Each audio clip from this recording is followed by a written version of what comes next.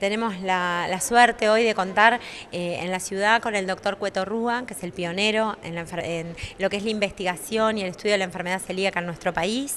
Eh, él va a dar una charla a la comunidad, al equipo de salud y después se va a ir a Ushuaia para también dar, eh, brindar las mismas charlas para la comunidad y el equipo de salud de Ushuaia. así que bueno, estamos por demás agradecidos a él y todo esto es posible gracias al senador catalán Magni y también el municipio de Río Grande, eh, en la figura del, doctor Walter Abregula, ¿verdad? Que han colaborado también con nosotros. Eh, y bueno, eh, la verdad está, tenemos una concurrencia bastante buena en el día de hoy. Nuevamente estoy acá por Río Grande para difundir la intolerancia alimentaria más común del mundo, al pan nuestro de cada día, que es la celiaquía. Lo bueno de esto es que cuando uno hace la dieta pasa a ser una persona absolutamente sana, microscópica y molecularmente sano.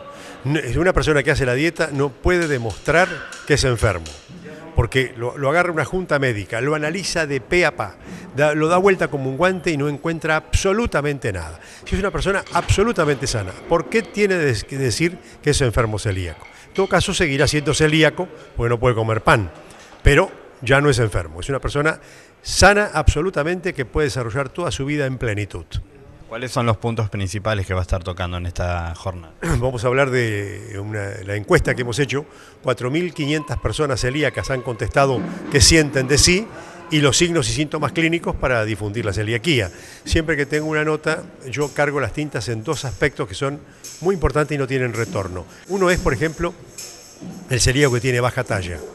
Si el celíaco que tiene baja talla no, no, no se le hace el diagnóstico tempranamente, será petizo toda la vida y un cuerpo de baja talla este, en una mujer puede comprometer un parto normal y un hombre de baja talla puede hasta comprometerse su relación normal porque las chicas bailan con el pibe alto, no con el pibe petizo. Entonces, eh, eh, un pibe alto es más interesante que un pibe disminuido físicamente. Entonces, esto no tiene retorno. Si uno hace el diagnóstico a los 20 años, la mujer no crece y el pibe tampoco. En cambio, este, por otra parte digo, no en cambio, la mujer que tiene un diagnóstico tardío puede tener varios abortos en su vida. No le podemos decir a una mujer de 50 años, usted tuvo siete abortos porque es celíaca. Tenemos que decírselo en el momento en que es fértil. Si una mujer tiene un aborto dos, inmediatamente hay que sospechar la enfermedad celíaca. Así que aprovecho este medio para decirle a la gente que si el chico es petizo comparado con hermanos y padres, y si la mujer tiene abortos recurrentes, lo que hay que hacer es sospechar la celiaquía.